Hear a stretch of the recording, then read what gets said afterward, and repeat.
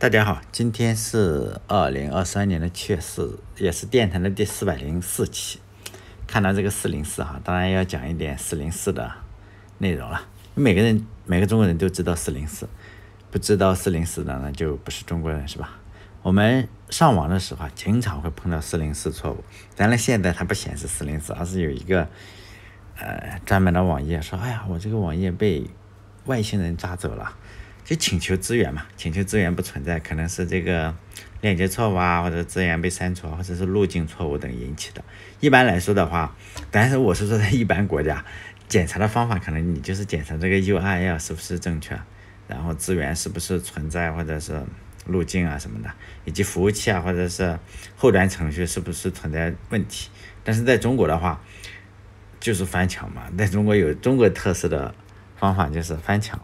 对程序员来讲的话，呃，就是我们很多的库，包包括这个，呃，很多库了，我都不知道哪一些。反正程序员你都知道是吧？很多的软件库，非常有可能的话，就是你返回了四零四错误。好像前段时间央视上有一段视频嘛，为了展示中国的这个技术有多牛逼，就是中国人工智能有多牛逼吧？好像六六月份吧？哎，不是六月份，三月份还是几月份？忘了，反正三四个月前吧。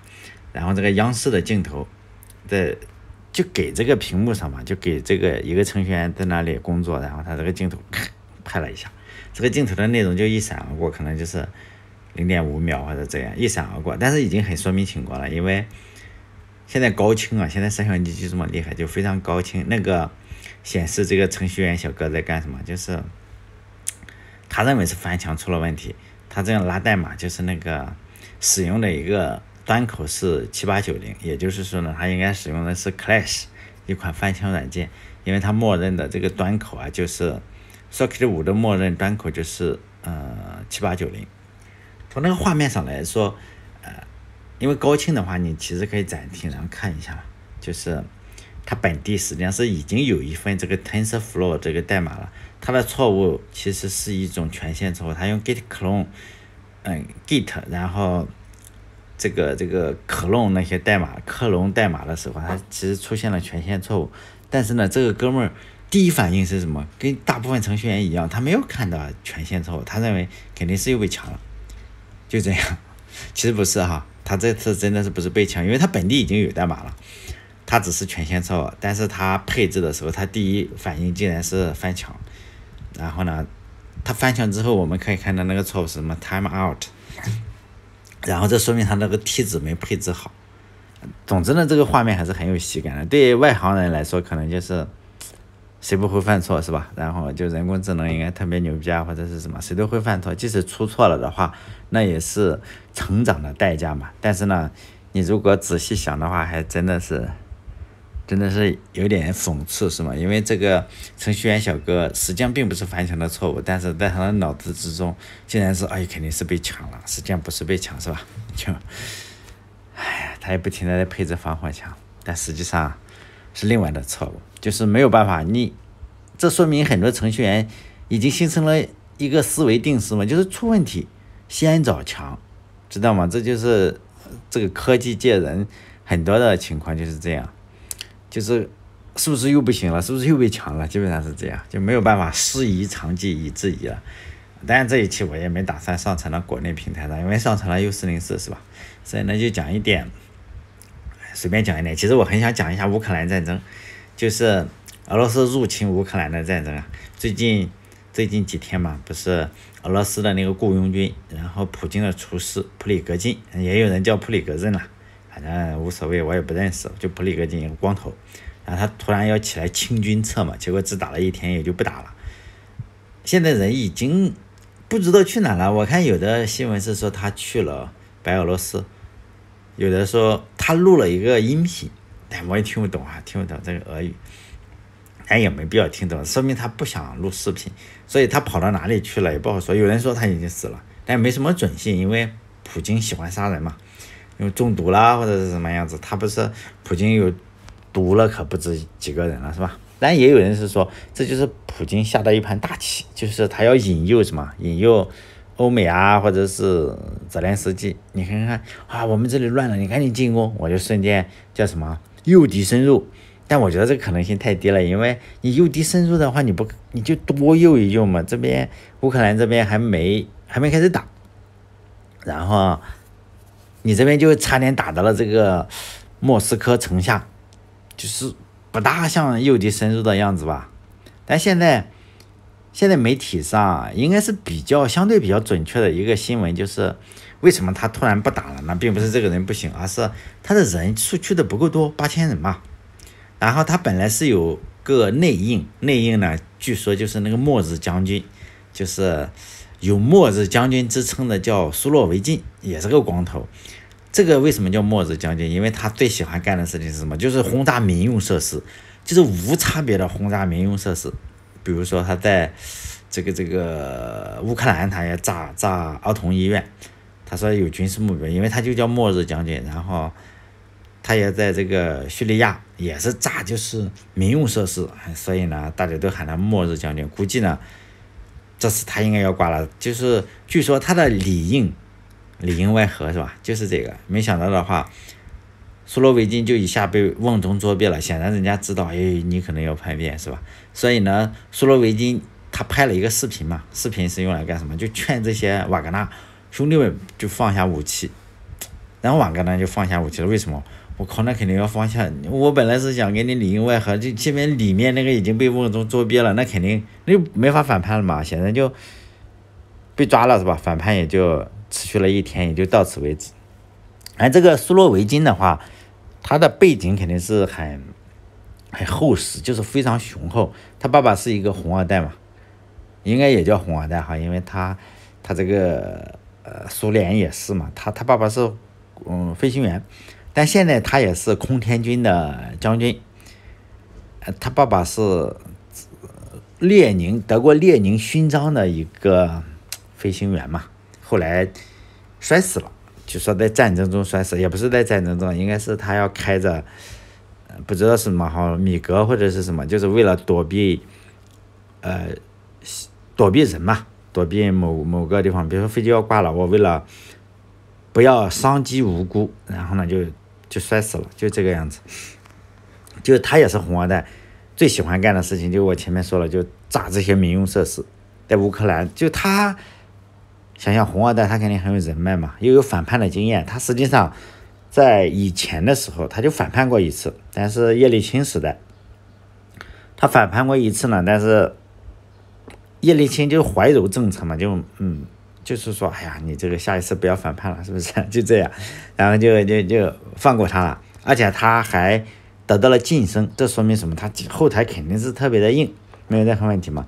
还有一次是说他的下属就告他嘛，告他完了天天对我打骂，为了证明他的下属就告完状之后就马上开枪自杀了，对这个苏洛维金呢也是没有任何影响，显然这个背景是相当相当的厉害。这哥们以前是在陆军的，陆军干，然后他也不会开飞机，也不会什么，但是还是去做了俄罗斯空天军的总指挥，然后开始炸叙利亚。他算是有战功的，因为他比其他人是有点战功。为什么呢？因为其他人，嗯，比如说那个普里格金是是给是以前做监狱，后来大家不都说是厨子嘛？实际上人家不是厨师，上菜可能是会不会炒菜，估计够呛。他就是弄了一个豪华游艇，他在这个游艇上吃饭嘛，普京去吃饭，然后他就他就端菜上去吧，应该是端菜。我认为他不，哎，也许会炒菜是吧？会西红柿炒鸡蛋，但他不，他的厨师是什么？他会给这些克里姆林宫啊或者是什么的，然后做餐饮生意的，就是好像我们这高校不是有那个鼠鼠老鼠嘛，就这种。能送进去做餐饮生意，显然给克里姆林宫然后提供餐饮，肯定是很赚钱嘛。然后可能又取得了这个普京的信任，然后他又去做雇佣兵啊，反正也是下手很狠。这个末日将军就不用说了哈，末日将军是有一点战功的，比这个 他这个这个绍伊古是有战功。我们知道绍伊古一小时四十四分啥也没打，绍伊古以前是做什么包工头，这个俄罗斯的很多的都是。没有什么战功，因为和平年代嘛，你你想上位的话，你实际上不用打仗，他是做包工头的，给军事叫纸盒板大将军。为什么叫纸盒板？胶合版大将军，就是你给你了很多钱，你要做一些设施吧，比如说你军队上的设施是吧？但是他显然胶合版嘛，我就凑合一下，钱得赚了。所以这个 少一股是包工头，然后这个是厨师，哎，你想想能打成这个样子，也就不用说了是吧？这个。空天军的总指挥呢，他也是苏联时期唯一一个也不会开飞机，也不会打飞机，估计打飞机都是是吧？秘书来帮我打飞机，他就不用亲自打飞机的外行，就是领导了内行。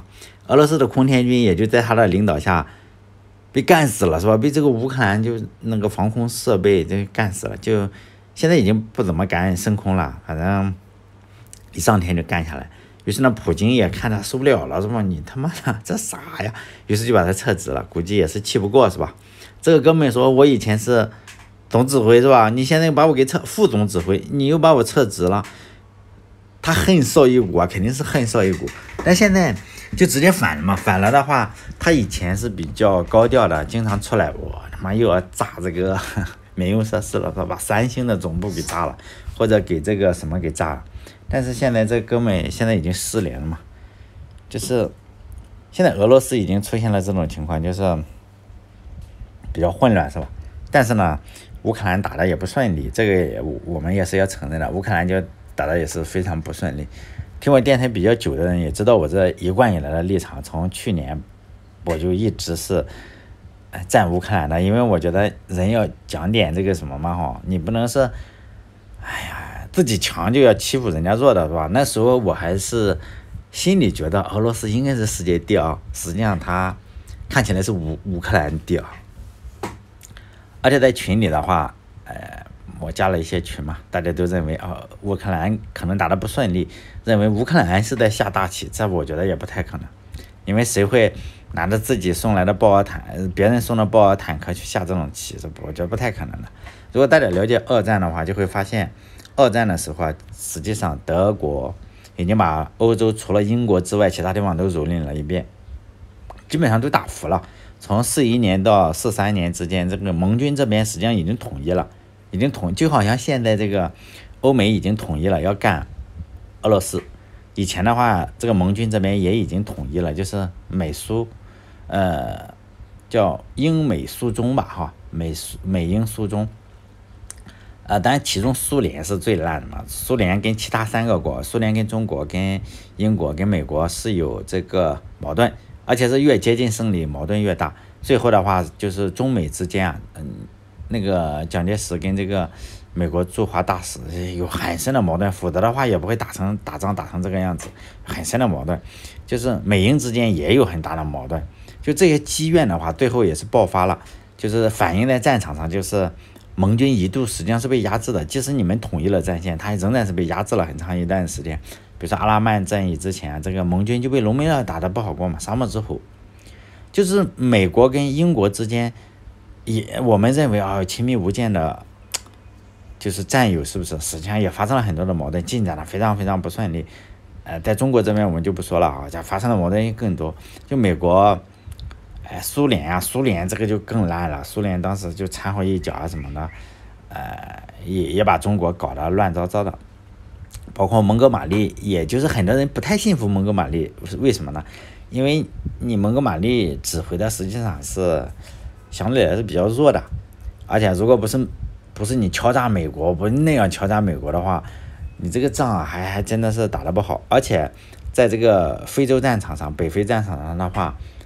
死的人是谁？死嗯，其实意大利也没有那么弱了。说实在的啊，也也比较弱。但是在北非战场上死的意大利人是更多。如果你说死的德国人跟这个盟军这边的交换比，大概是一比四左右。但是意大利人实际上死的太多了，结果，哎，你就觉得好像是盟军大胜，实际上是德国还是比较厉害的。这这一点要相信这一点。乌克兰这边你说有什么事情？就是现在我们看起来打的不顺利嘛，然后也也，装备啊什么的，然然后你也看到，就是乌克兰这边的士兵也好，还是指挥也好，就是骂嘛骂说我们没有没有装备。你说后面有什么猫腻的话，我们现在是不知道。但是我想想，比如说法国在后面搞什么鬼啊？因为法国这个国家就是就是有点问题啊，法国搞什么鬼？像马克龙啊，跟个傻逼似的。反正是不是在拖后腿啊？这不好说，因为现在也不会摆在桌面上，很可能五十年之后才会知道。不过我也认为是俄罗斯肯定会失败，就跟当年德国肯定会失败。即使在阿拉曼战役之前，还有德国看起来很强大，它最终仍然是失败。为什么我会这么自信呢？是因为我觉得俄罗斯跟德国实际上是一样的，就是半专制国家，这种国家的决策是不会透明的，并且它依赖于元首，依赖于这个希特勒啊，或者是依赖于普京。就算是他们都很聪明，我们认为他肯定是人精嘛，包括普京也好，或者是希特勒也好，他肯定是，呃，大家知道这个隆美尔是怎么死的吧？隆美尔也是有点反叛啊，他们就隆美尔说参与了刺杀这个，呃，刺杀希特勒的行动，你说有没有？我不知道，但是是有可能有，但是即使没有的话，他从北非拉回去就就把他给。弄了嘛，就是相当于撤职了，就类似于现在你说，哎呦，他是不是普这个希特勒在玩大棋？也不是玩大棋，隆美尔有可能是参加了这个刺杀这个希特勒的行动。你说像布雷格金啊，或者是这个也是参加了刺杀普京的行动，虽然很明显的刺杀普京，所以我觉得不是大棋。虽然中国这边天天就讲大棋大棋。不太可能的，这种大气太什么了哈？就这些人，他是有信息茧房的，周围人都骗他，或者都怕他，怕他的时候就骗他。比如说隆美尔怕不怕这个希特勒？肯定是怕的。他即使打得再好，他也怕他。然后你就会发现，你看普里戈金叛变了，然后战争的总指挥空天空天军的将军也叛变了。接下来的话，希特勒做出了什么？就清洗嘛，清洗。我发现有没有人不忠诚于我的？我相信普京也肯定要干这件事情，就是说，哎，我看看你这说一股，写个检讨书，对我要忠诚。实际上你越写越不忠诚嘛。就是能不能，现在这个情况是能，我觉得对普京来说，能不能打下乌克兰已经不是很重要了，应该是打不下来了，人家在不停的进攻，但是他这边被架空了，可就是不好办了，你可能就。给干了是吧？而且现在到处都在叫什么火上浇油是吧？比如说这个美国的 FBI 的这个联邦调查局的局长就出来辟谣说我们没这回事，联邦调查局局长也他妈是个牛逼人，就说他不要扣在美国头上嘛，我们没干这回事情，就是 FBI 与这些与这次政变啊或者是军事政变没有任何关系，我相信也许是没关系是吧？但是。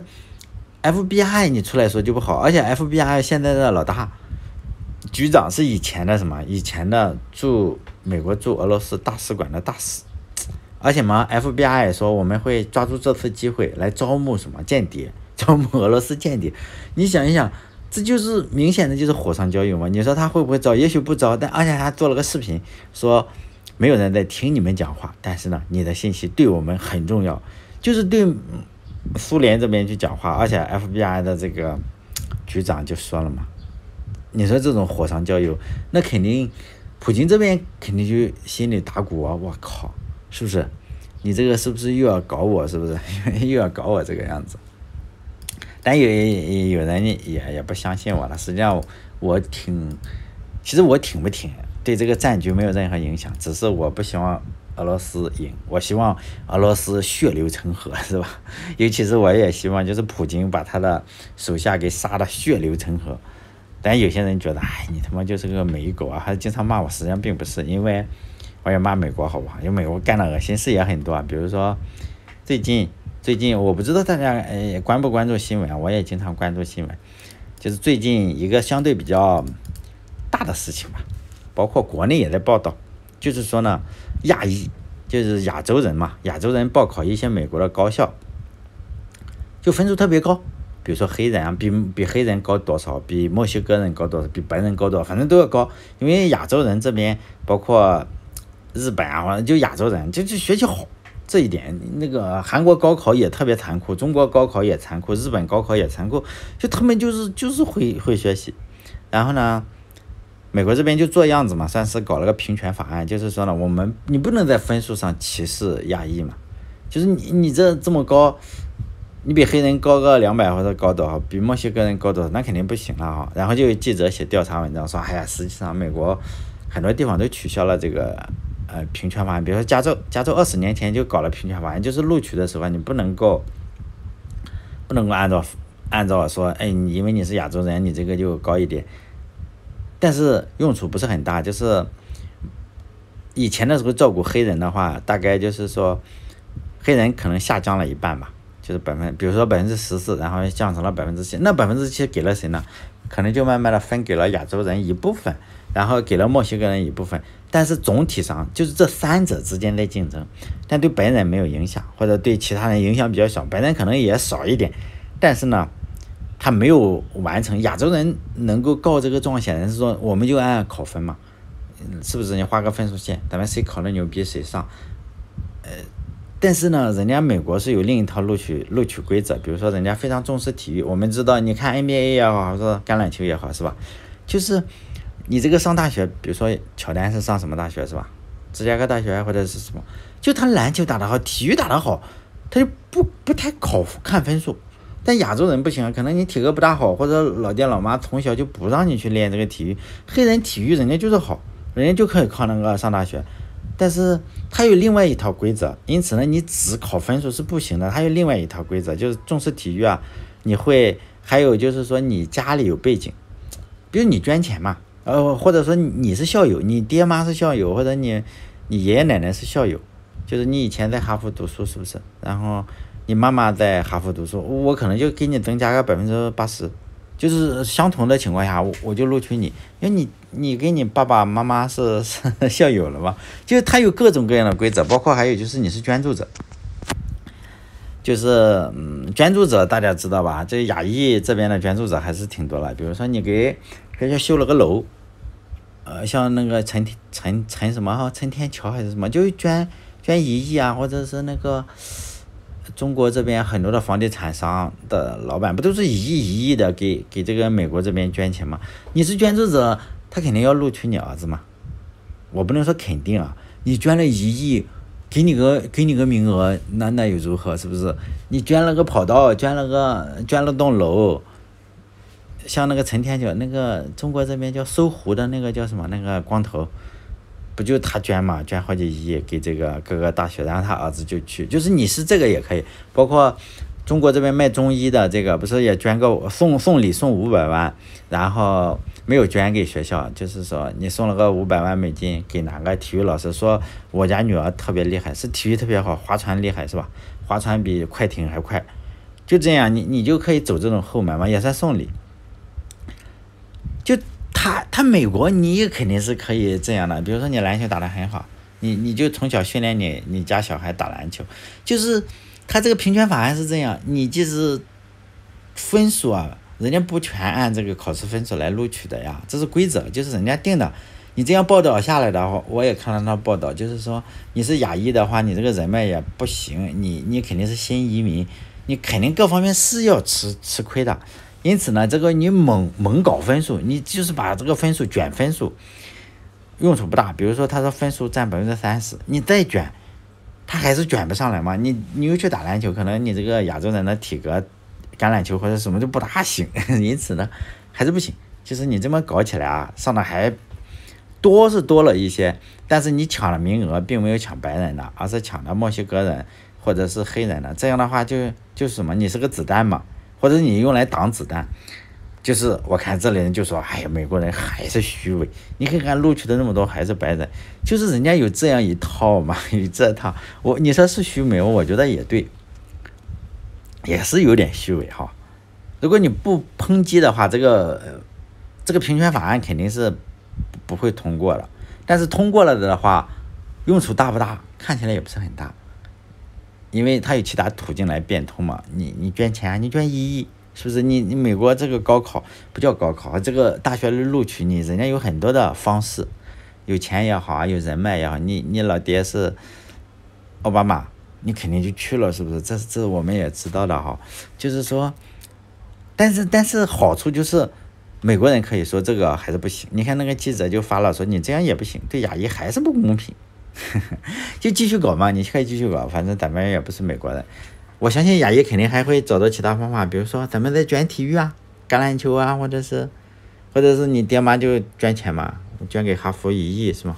研究脑科学。好像陈天桥就是以前盛大的那个人，就捐研究脑科学，研究长生不老。但是反观中国这边就不行了，就系统性歧视嘛。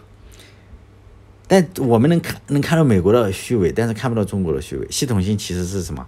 就你出生在哪个地方？你出生在山东、山东、山东、山东、山西、河南、河北这四个地方，我说就高考的地域之地是吗？他不是按人种啊，他是按这个。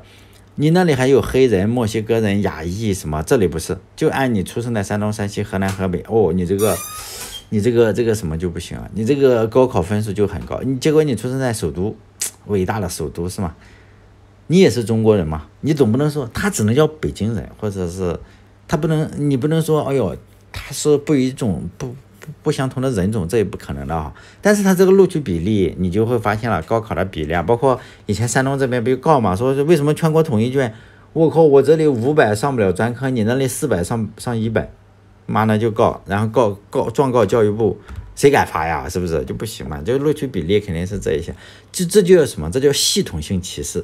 系统性其实有很多中国人视而不见，比如说你是农民，我是农民，我是农民的儿子，比如说我那时候。中考、高考也好，但我是考的分数比较高的，但也是被歧视，因为我这个脑子可能就是说我从小没什么见识嘛，因为从小就在这，就是比如说我是我们这个我是莱芜这个地方，而且莱芜它还分农村户口，那么我们莱芜农村户口就要比莱芜城市户口要高高十五分吧，大概是十五分，就是你你天然的。要比人家考十五分你才能上，但是莱芜这边是不是又不行啊？你比济南或者青岛的话，你会发现专科本科又差一些分数，差一百分两百分，真的是一百分啊！结果你这样一比较，哎，差一百一十五，人家可能就青岛或者，但是你你再拿山东再跟北京比，你会发现真的是这叫什么？这叫系统性歧视。就是我就是，你可以说我这个没本事，是不是有本事？你你你爹爹妈厉害啊？就是你出生好的家庭，肯定是高考有优惠嘛，然后事业有优待啊，退休有保障。但是我认为这是一种系统性的不公正嘛。你说我买我去超市里我买一袋方便面，我跟你交的税是不是一模一样？一一样的，并不是你是城里人你就不交呀。你你交的多，我我我吃一包方便面也好，买一袋食盐也好，我们这是流转税啊。或者我去加油，加油里面有一半是税，你说你加的油是不是跟我一模一样？但是我们受到的。待遇是非常非常不同的，比如说高考就不同，我要比其他地方高一百多分，我才能够上这个线，就是两千年左右，大家可以去查。农村的分数要要不一样的，农村要高一点，农村户口更高。现在好像反过来了，是吧？我也不知道哈。但是你反过来仍然是一种歧视，你不知道不知道大家能理解吗？比如说你是农村的，你是农村的这个养老金一个月一百块，或八十五啊，好像是的，我爹妈八十五。你那个城市总可能就多哈，你如果是公务员的话，一万块。你说，你你当然可以是说的，哎呀，你以前受的是什么？但是你有没有可能是有这种可能？你比人家，你是一万块的话，那里是一百块是吧？你是人家的一百倍，你你付出的是不是真的超过一百个？你是个 局长，然后你付出的真的超过一百吗？一百倍吗？一百个老农民吗？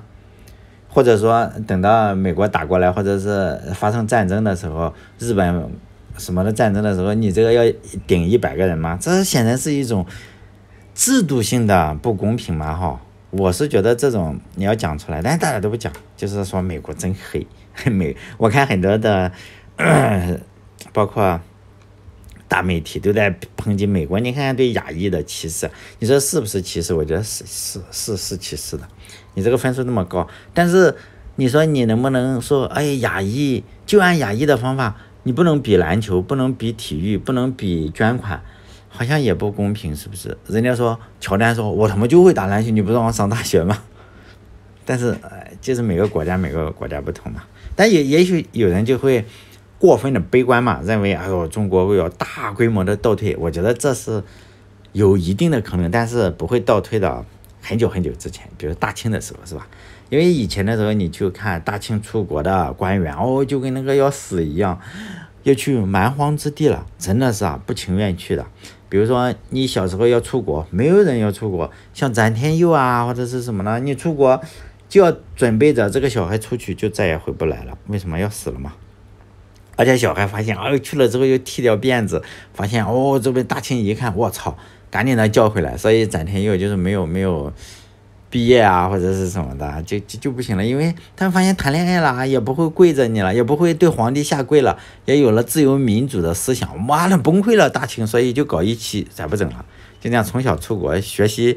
大家可以去看看那个留学西方的那些儿童，真的是特别逗，是吧？这边的大清最后不搞了，为什么？因为他们有了平等的思想。现在我们不允许有平等思想，就是你农民就是农民，就一个月安安心心领你那一百块钱。你是城里的职工是领多少呀？两千。然后你是是吧？事业编是多少？你是官员是多少？你就安安心心的，你不能有平等的思想，就是说。没钱的、没权的，你好好好的，但现在不会，现在不会出现展天佑那种情况，因为大家可以去在微博上去搜美国大使馆的照片，有有些人就说我要去签证啦，他妈去爱国，他非常，你会发现他非常爱国，但是他还要去签证去美国上学，为什么呢？因为说是一回事，做是一回事，你就看美国大使馆哦，那个北京下了那么大的雨，大家排队啊，打着伞。跟詹天佑那时候是说哇不能去，我不能去哈。那个同要洋文馆还是同文馆？就是大清的时候没人去读书的，你最烂的你去读英文，为什么？因为你读了英文要去做大使，做大使你去个环，嗯，去个那种恶心地方是吧？外国很恶心，但现在大家已经意识到了外国不恶心，这算是进步啊！这虽然只有两百年，两百年对历史来说，对好虽然是好几代人，但是对历史来说这不算什么。知道吗？所以中国在进步，大家去看一下，就是有钱的、有权的，都会把小孩，就是自己也好，还是小孩也好，你看看是不是？中国只要是首富就拜拜了，包括你知道任何东西都拜拜，刘强东拜拜了，马云拜拜了，海底捞的拜拜了，都走了，当官的是不是？小孩都去了，都去了正规途径离开，就是打着伞去。去美国大使馆，就是我骂美国，为什么骂美国？因为我家的小孩在哪里，我他妈要天天监督你，是不是？就是没钱没权的可能就走线，但走线就是偷渡嘛，哈。但是我们就好像是换了一种说法，说，哎呀，走线就不是偷渡，就是你穷啊，你做不到。但也就是说，中国的老百姓跟很多的官员达成了一致，妈去美国是吧？你你你，要么就走线，包括那个。走线的不是有很多嘛，就是天哥是吧？就就骂那个操你大爷的那个天哥，然后还有很多很多的就通过偷渡凤姐啊或者是什么偷渡，还有一个在六十多岁的诗人呢还是什么作家也是就偷渡嘛，我们就好像是说走线就什么，所以这是一种选择。我认为中国还是不能说中国的官跟民。达成了就是水火不容，不是在这方面真的是一致的统一，非常统一。就是有钱的通过护照去，没钱的通过偷渡去，然后共同到美国是吧？呃，就是说再倒退也不会倒退到说 那个年代，说你家里有支铅笔，有个西药，是不是？你吃了个盘尼西林，马上刷你全家，不会有这个程度。现在你看看。你你西医也好，还是西医，大家也用西医啊。以前的话，你用西医就给你烧了。你看那个北京的大大石蜡，知道吗？那里有西医，全给你烧了，一把火烧了。所以呢，我们也要看，一方面要看怎么说，一方面要看怎么做嘛。吹得天花乱坠，自己的小孩去哈佛读书，去美国耶鲁，是不是？你就知道他的心中还是认为美国比较好。尤其是说我要爱国，是不是？尤其是那几个爱国大 V，然后他有了钱就去美国买房子，然后那头被夹了之后还回来说美国算什么？然后他家小孩都在美国，我在 我在美国是生活，在中国是工作，是吧？哎，好嘞，这一期就吐槽到这里，再见。